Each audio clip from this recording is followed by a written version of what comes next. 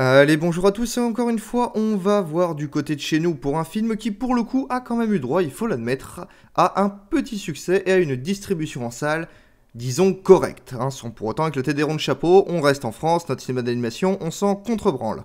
Alors sortez les mouchoirs, le Xanax et les cordes, parce qu'aujourd'hui on va parler du film qui a quand même été sélectionné aux Oscars dans la catégorie meilleur film d'animation. Et c'est quand même plutôt pas mal, même si ça me fait un peu chier qu'il l'ait filé à Zootopie et pas à Kubo qui franchement le méritait dix fois plus. D'ailleurs au passage sur les Oscars, l'Oscar de Suicide c'est quand même du gros gros foutage de gueule. Hein. Donc aujourd'hui on va parler de ma vie de courgette.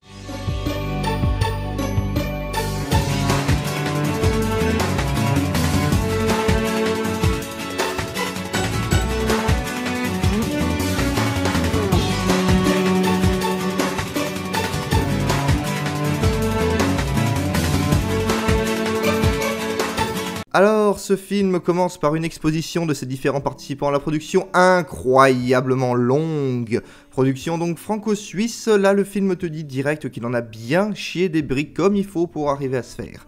On est donc ici pour suivre la vie de Courgette au sein d'une œuvre assez courte de un peu plus d'une heure. Et vous allez voir que cette durée est quand même importante. Alors on commence soft hein, avec une chambre pourrie et Courgette, Icar de son vrai nom, ramassant les canettes de bière éparpillées dans la maison. On enchaîne rapidement sur une mère totalement alcoolique, et enfin on termine sur Courgette qui tue sa mère accidentellement, qui meurt en tombant dans ses canettes de bière. Puis Courgette va dans un orphelinat où il fera la connaissance, comme dans tous les orphelinats du monde du cinéma, du petit con de service qui va lui pourrir la vie pendant les premières parties du film. Alors déjà, je propose qu'on renomme ce film la grosse, grosse, grosse vie de merde de Courgette. Alors ouais, je vous préviens, ce film, pendant sa première moitié, c'est vraiment, mais alors vraiment pas le film de la joie de vivre. Hein. Déjà, l'histoire de Courgette est affreuse, mais dites-vous que chacun des gosses qu'on verra à l'orphelinat a une histoire bien, bien, bien pourrie. Genre elle. Alice, son père, il faisait des trucs chelous. Enfin, des trucs dégueux. Je sais pas trop. Puis Alice, elle faisait des cauchemars de ça toutes les nuits. Ouais, joie, bonheur, bonne humeur. Tout est lourd, grave, pesant, le tout poussé par les Cara Design avec ses personnages aux membres anormalement longs et avec les cernes les plus ouf du monde. En fait, ça me rappelle beaucoup Marie et Max, un des films les plus déprimants que j'ai vu de ma vie. Ah non mais vraiment, ce film, en plus d'être franchement chiant, t'as juste envie de t'ouvrir les veines pendant tout le déroulé. Niveau déprime, je le classe à peu près au niveau de La Route, pour vous donner une petite idée. À la différence que La Route, c'est lui un excellent film. Mais ne le regardez pas déprimé, s'il vous plaît. Mais revenons donc à Courgette et à sa vie pourrie. Et au final, pas si pourri que ça.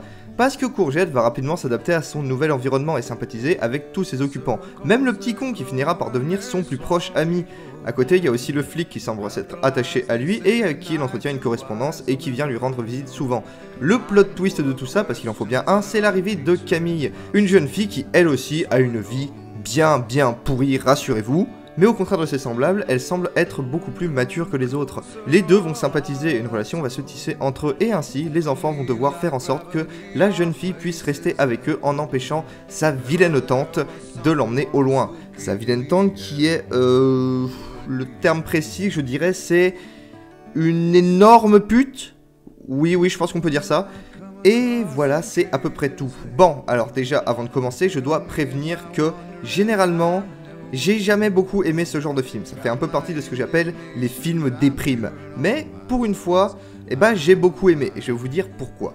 Déjà, il y a des personnages qui, au-delà de l'envie de se tailler les veines qu'ils te transmettent, se révèlent très intéressants, parce que globalement, tous les enfants qui nous sont montrés ont vécu une enfance horrible, et pourtant, ils arrivent petit à petit, avec l'aide des autres enfants, mais aussi des adultes du centre, à se reconstruire petit à petit. Le plus bel exemple du film étant pour moi cette nana qui commencera le film comme l'archétype de l'enfant traumatisé à mort, et qui finira par revenir vers le monde grâce à ses amis. Pareil pour le petit con qui lui aussi a une histoire vraiment pas drôle et qui a des raisons de se comporter ainsi. De plus, c'est clairement l'un des personnages les plus importants du film car c'est de lui que viendra le plus souvent les informations sur les personnages et c'est même lui qui amènera l'élément qui résoudra la situation de fin de film. Certains passent pour le coup par contre un peu rapidement mais au final on s'attache à tout le monde assez vite. À côté de ça, on peut aussi citer l'animation qui est franchement... Euh... non. Je peux pas juger l'animation de ce film. Juste parce qu'il y a certainement énormément de taf derrière et que ça se voit, rien qu'au niveau des différents mouvements qu'ils arrivent à faire. De toute façon, la stop motion est une technique extrêmement longue, compliquée et qui mérite une immense reconnaissance pour les gars qui ont une patience, comme je l'ai dit déjà, de moine bouddhiste pour arriver à tenir le truc. Mais à côté de ça, personnellement, je ne suis pas du tout réceptif à ce type d'animation. C'est pas le fait que ce soit en stop motion qui me gêne, le studio Laika s'étant chargé de me réconcilier avec le genre. Mais c'est le rendu pâte à modeler que j'apprécie vraiment, vraiment pas. Donc objectivement, le film dispose d'une animation soignée et très propre, mais subjectivement, je ne peux m'empêcher de ne pas l'apprécier. Par contre, le film est très chargé en thématique. Principalement, on peut y trouver le rapport aux parents, avec ces enfants qui ont un rapport assez spé, on va dire, avec chacun de leurs géniteurs. Mais aussi et surtout, le film traite de la reconstruction. Parce que Courgette, autant que quasiment tous les autres personnages d'enfants, est arrivé détruit au foyer. Et le film va bien plus traiter de comment ce gamin va tenter de se reconstruire à l'aide des gens qui l'aideront, et notamment ce flic qui sera son soutien le plus solide au cours du film. Mais le film nous parle aussi du système d'adoption actuel, qui visiblement doit pas avoir la meilleure réputation du monde, puisqu'il se fait proprement défoncer au cours du film. Que ce soit par la tante qui parle de l'enfant qu'elle veut adopter comme une marchandise, et par le roux qui nous fait comprendre que même les enfants en sont conscients, et qu'ils sont conscients d'être considérés comme des objets avec une valeur d'adoptabilité, on va dire, qui décroît de plus en plus avec le temps. Voilà, autant dire que c'est pas la grande joie. Par contre, au niveau des défauts, il y a deux points que j'aimerais soulever. Tout d'abord, la musique.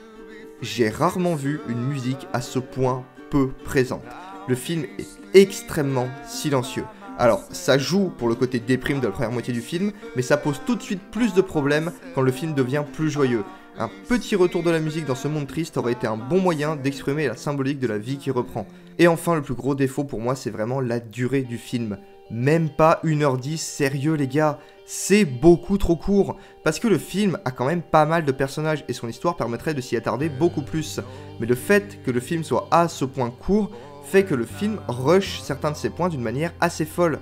Par exemple, prenez lui. Quand on le voit arriver, on se dit que ça va être l'antagoniste principal. Mais le truc, c'est que le conflit entre les deux personnages dure une scène, deux tout au plus, et que dès qu'elles sont passées, le gamin devient le meilleur ami de Courgette. Vraiment, ce problème de durée impacte tout le film, et c'est vraiment dommage, parce que vraiment, ces enfants sont tellement fascinants, et leurs histoires tellement plus glauques les unes que les autres, que c'est vraiment dommage de pas s'attarder sur eux.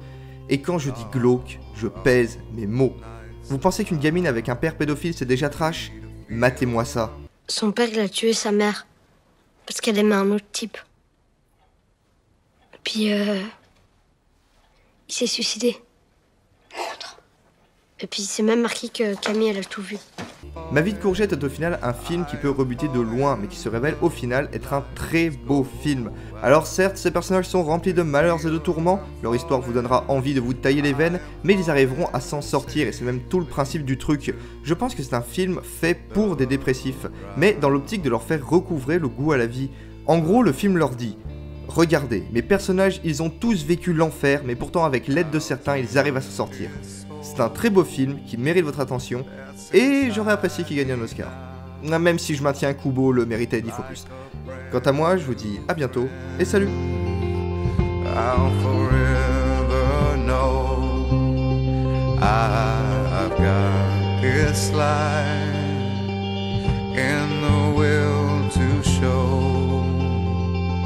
I will always be better than before.